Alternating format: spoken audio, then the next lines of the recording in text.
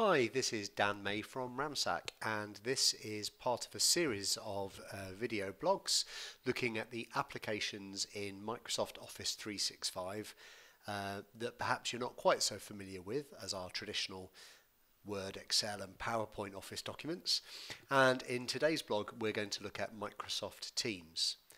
Microsoft Teams is uh, designed for organizations that want to perhaps rely a bit less on traditional email as a form of communication and really want to increase collaboration uh, amongst their organization. So it's designed to bring uh, organization uh, groups together uh, to work collaboratively on files with video calls with uh, with shared documents and to have a, a, more sort of informal instant messenger WhatsApp type chat experience for groups of people that need to collaborate on a project or a piece of work or a particular work stream. When uh, going through this um, application, um, you'll see that actually Teams is uh, it's effectively a single pane of glass that brings together a number of different Microsoft Office 365 applications. And rather than going into uh, detail of each individual application that we're going to look at today, I'll just refer you back to our uh, ramsac blog at uh, www.ramsac.com uh, because there's a whole load of vlogs on there uh, looking at the individual applications such as um, Planner and uh, OneDrive and OneNote, for example, all of which you're going to see in this brief demonstration of Teams. Uh, but today I'm going to focus on Teams itself. Um, so let's get started. So first of all, um, if I hover over the Teams button here, you'll see that uh, there's a whole load of teams listed that I'm a part of. So these are all the teams that I'm a part of and that I've added to my favourites so that I see them regularly. But it's really easy for anybody to join or create a team on the fly. So we're going to start off just by creating a new team, which we do by hovering to this button at the bottom that says join or create a team. If I click on that, then um, I can create a team here or I can join any organisational teams that um, are open that I've not currently joined. But for, for now, um, I'm going to create a team. So I click on that button there. I'll give it a name. I'm just going to call this example team. Um, and I decide at this stage uh, what my privacy settings are going to be, and it's really straightforward. There are two options. A private team means that I own it, and I decide who gets to join. And a public team means that anybody in my organisation can join. So for now, I'm going to select private, click on next. It's going to very quickly create the team. And now I need to add team members. So I'm just going to add uh, Louise and Simon who work with me uh, on my team. I'll click add and I can decide if uh, I want them to also be owners of this group, which would give them those same rights to be able to change the privacy settings and allow new people into the group. But for now, I'll just leave them both as members. I click on close, and that's it. There is my example team created. Now, within Teams, uh, it's possible to break a team down into a number of channels. So if I look at the example team here, I can see that it's created a general tab. In good um, uh, Blue Peter Styley, I'm going to go to an example that I created earlier. So here is a test team. And if I expand that team out, you'll see that I've got the general channel that was created, uh, and then I've created these various other channels here. So channels are a way of breaking down a team into more uh, specific areas of focus.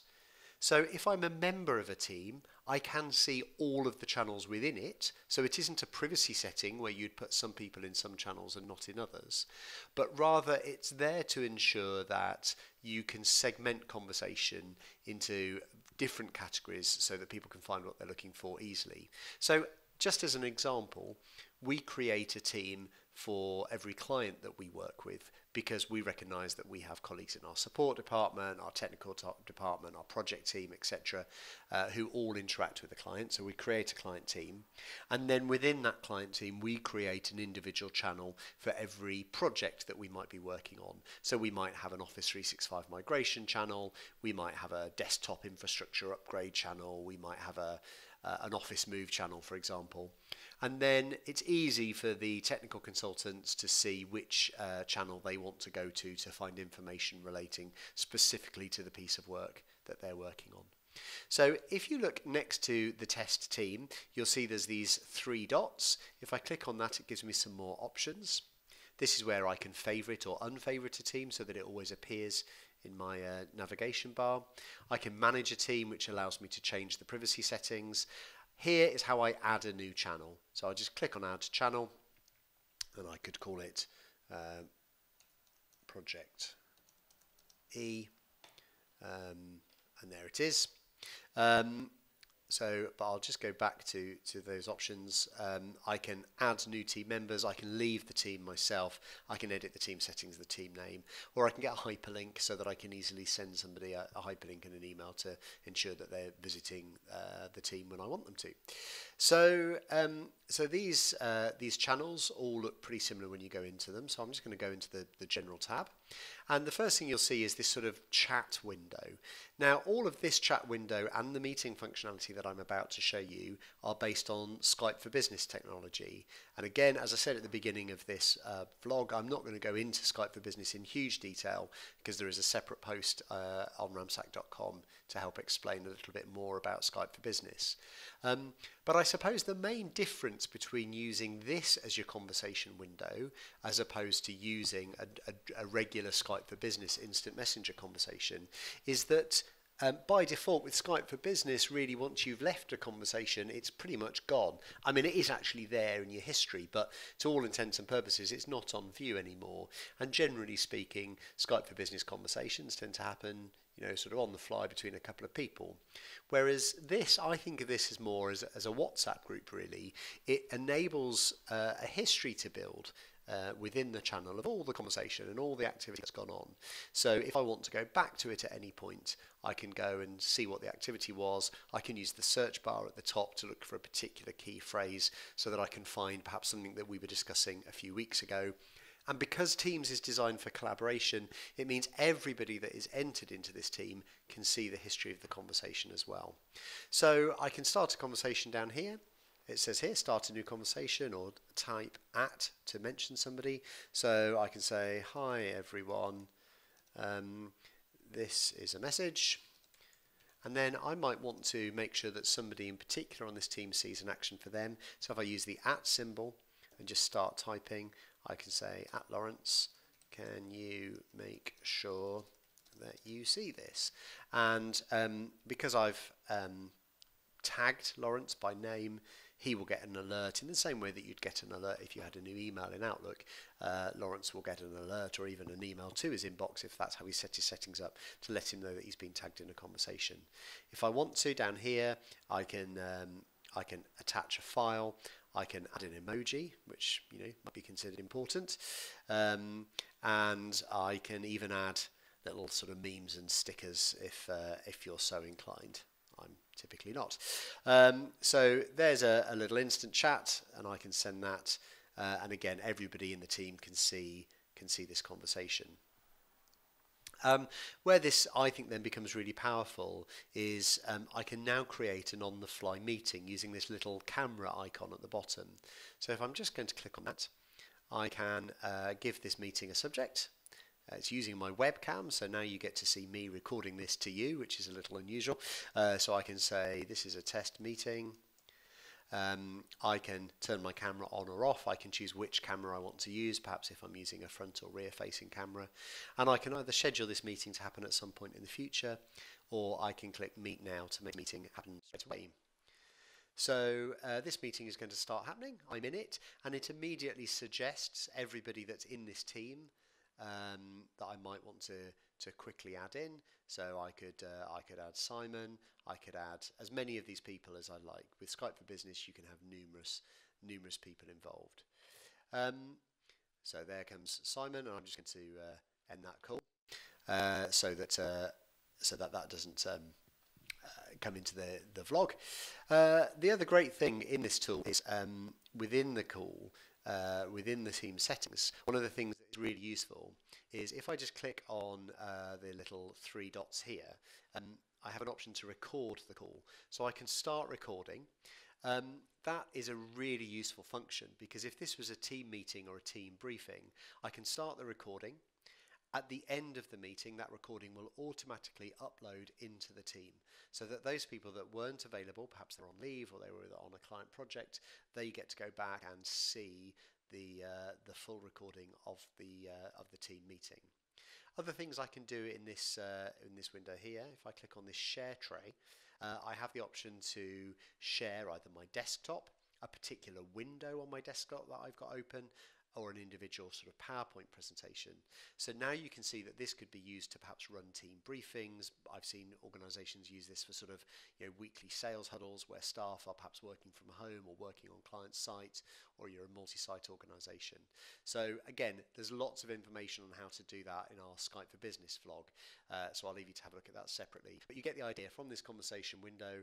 I have uh, started a, a meeting I've put it into a recording mode so that colleagues can see that in the future. Um, and I, have perhaps shared documents, and, and, again, that will all be included within the presentation as well. So I'm just going to end that conversation. Uh, so I can see Simon's just replied to the meeting that I invited him to and uh, mentioned that the sound was okay. So brilliant, good for him. So there's our conversations. Um, the other thing we can do in Teams is we can start to create document libraries, and this is specific to each channel that you're working in. So remember the channel being that kind of the subgroup within the team. So if I go into files, I can start uploading documents. I can create new documents on the fly. Now what's really good in Office 365 is these documents can all be worked on simultaneously. So if I click on this health check document um, and open it, uh, and if I select when I open it uh, to edit line, um, or to do it within Teams itself, then this means it's uh, entirely possible for multiple people to work on the same document at the same time. So I could be doing this within my meeting that I previously set up, or we could just have this as an open document. So, for example, an Excel spreadsheet that multiple people uh, on the team all need to have access to, they can all um, open the document at the same time. You can see who's editing what. I could start a conversation window at the side if I wanted to. So um, I could have a little text-based chat to whoever else is online and in this document. So I could say, please, uh, can everyone look at the info on page three? Or again, I could decide actually I don't want to do this via text. I want to just turn this into a quick meet now video call. So all of the options are there for us to have a document storage specific to this team that everybody in the team has access to and that if needs be multiple people can collaborate on all at the same time. So you can see this is a really powerful collaboration tool. I'm just going to close that. I can then create all kinds of other tabs alongside Teams. So if I click on add a tab there are all kinds of applications that I can add in. So you'll see your familiar documents, so I could have an Excel document um, or a Word document, for example, actually permanently open as its own tab within the team. If you're using Power BI for business information reporting, you can have that live integrated into your team. If you use Planner which is a brilliant online planning tool. And again, there's a separate vlog about Planner on the uh, ramsac website. Uh, then that can all be integrated. So instead of having to open separate Microsoft applications, to access information you have in, in across the 365 family, you can actually in Teams bring it all into one place just by adding new tabs. And it's not just 365 applications, there's a whole load of third-party add-ins uh, that come into there. So if you use Egnyte for document storage, for example, uh, then there's no reason you can't include that. There's a whole load of ready-built applications. Um, you can have web pages that are opening live, so just click on a web link. Um, so if you've got team websites that you access all the time, that can all start to build in these tabs. So just as an example, in this particular test tab, I've added meeting notes. That's using Microsoft OneNote, but instead of having to go into OneNote separately, it's all just going to be here within my Teams. Again, there's a separate vlog on OneNote that explains how that works in more detail. And my test team tab here is actually a Microsoft Planner. So again, uh, if you're using Planner, and uh, as I say, uh, there is a, a separate vlog that shows you how to use this as a as a planning tool, then that's all there within your um, within your team environment. So uh, in a nutshell, that covers most things. I can see at the side here, I've been tagged in new activity, so I'm getting alerts in the same way that I would in my inbox so I can see what's going on. There's a there's a new message for me here in general, um, so I can see that um, that, uh, yeah, Lawrence has replied to the message that I sent earlier on, so that comes in.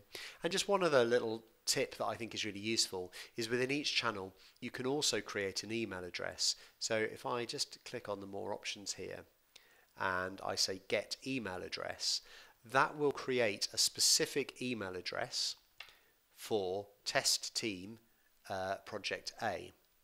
Um, I can copy that email address, share that with colleagues, and actually what we do internally is we just set up a rule so we make it something nice and memorable, like you know, test team project A at uh, at SharePoint uh, at Team, sorry, um, and uh, then if we're running a project, any email communication to the client, no matter who on the project team is is sending that email communication, we copy in the team's email address and it automatically stores a copy of that email within the team's window.